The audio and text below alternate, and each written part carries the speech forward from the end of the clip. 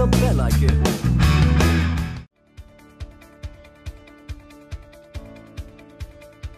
बॉलीवुड में जब सबसे कूल एक्टर्स का नाम आता है तो गुजरे जमाने के एक्टर शशि कपूर का नाम तो जहन में ज़रूर आता है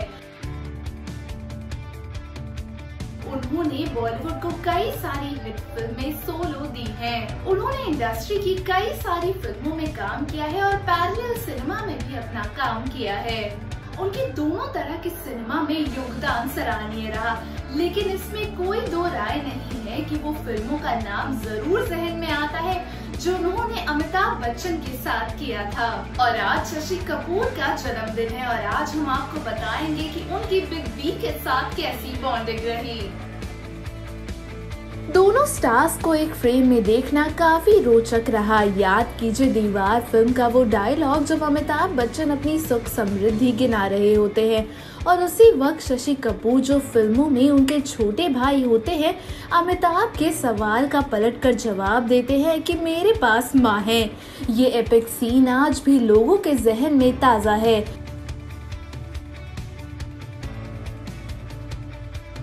मेरे पास माँ है। दोनों एक्टर्स ने दीवार, काला पत्थर, त्रिशूल और शान जैसी सुपरहिट फ़िल्मों में साथ काम किया है। अमिताभ बच्चन के लहजे में संजीदगी और शशि कपूर का चुलबुलापन, ये दोनों ऐसा कॉम्बिनेशन था जिसे बॉलीवुड ने खूब बनाया। रिपोर्ट्स की माने तो दोनों ने 14 फ़िल्मों में एक साथ काम किया। दोनों की एक्टिंग का ही नतीजा था कि सारी फ़िल्में सुपरहिट रहीं।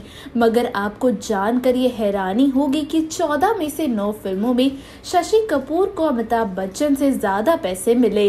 वो बात अलग है कि इन 14 में से कई सारी फ़िल्में ऐसी रहीं जो अमिताभ बच्चन के नाम से ज़्यादा जानी जाती हैं। इसमें सुहाग, त्रिशूल, एहसास, रोटी कपड़ा और मकान, ईमान, धर्म दीवार दो और दो पात, सिलसिला, नमक, हलाल, काला पत्थर, जानी दोस्ती कभी कभी अकायला और शान जैसी फ़िल्में शामिल हैं। इसके अलावा शशि कपूर की डायरेक्शनल फ़िल्म अजूबा में अमिताभ बच्चन ने एक्टिंग की थी।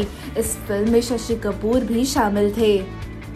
दोनों पर्सनल लाइफ में भी अच्छी बॉन्डिंग शेयर करते थे। अमिताभ को शशि कपूर हमेशा बबुआ कहकर बुलाते थे। अगर 14 में से 9 फ़िल्मों में शशि कपूर को ज़्यादा पैसे मिले तो इसमें कोई ताजुब नहीं होना चाहिए, क्योंकि करियर की शुरुआत में बिग बी खुद भी इस बात को लेकर फिक्रमंद थे कि शशि कपूर के सामने एक्टिंग करना उनके लिए कितना मुश्किल होगा। शशि उस समय बड़े स्टार थे और चॉकलेटी कैरेक्टर के तौर पर जाने जाते थे।